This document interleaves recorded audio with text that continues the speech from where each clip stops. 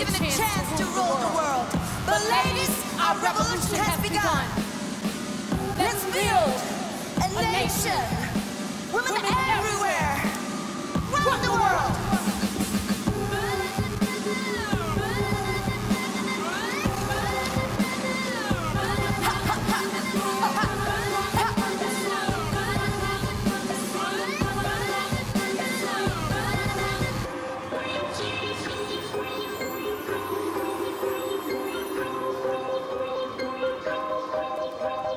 Jesus.